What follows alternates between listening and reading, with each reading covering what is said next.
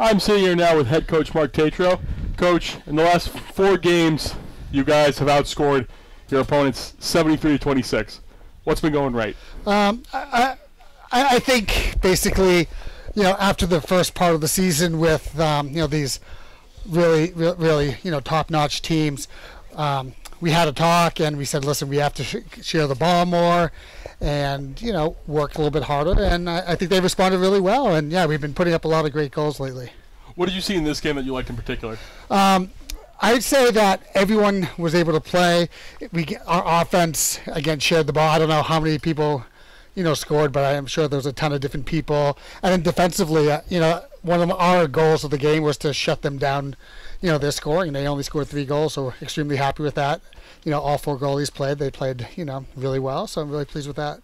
So, um, yeah, a lot of uh, underclassmen playing out there, and some of them even scored today. How important is that to team chemistry? It, it's great. You know, th- when we play those harder teams at the beginning of the year, they don't see very much time on the field. So, you know, when, when we have opportunities, we definitely take advantage of that and give them the opportunity to showcase their skills and to grow as players. So, you know, for me, it, it's really exciting to see them play and see what they can do under a little bit of pressure.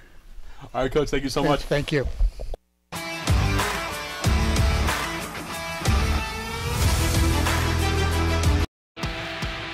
The road to national championships runs through NCAA.com. And whether you follow one college team or all of them, it's never been easier to get the content you want all in one place. With live broadcasts of multiple championships across all divisions, with exclusive access This is your ticket to the NCAA tournament. and highlights for every single championship. Stay in the game all season long with NCAA.com, the home of college sports.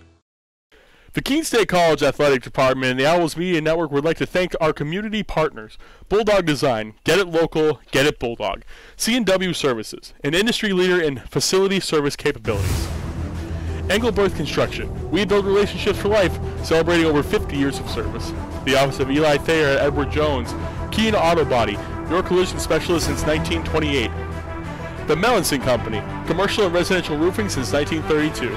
And the New Hampshire Army National Guard. Visit nationalguard.com slash NH. And that's going to be a wrap on today's game with a final score of 19 to 3. The Owls were able to get a nice LEC win today. The next game they will play will be at Vermont State Castleton on April 17th at 7 p.m. And the next game they'll play at home is April 20th, next Saturday at 1 p.m. against Plymouth State. That is going to be senior day, so be sure to join us then. I'm JJ LeBlanc, joining with Logan Peranto. Have a great rest of your night. Target has it. 10 seconds left. Got to get a shot off. Oh, and they lose the ball. Quiet has it. Four seconds left. Three seconds left. Oh my oh, God. Oh man, behind the back.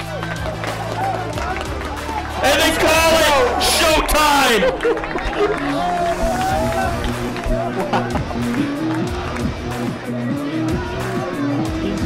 Macarini caught it in one motion went behind the head and puts it into essentially the empty net because Cohen came off his line.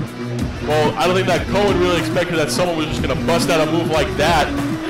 I don't blame him. You have been watching a Keene State Athletics broadcast on the Owls Media Network. Please tune in to our next broadcast and thank you for watching.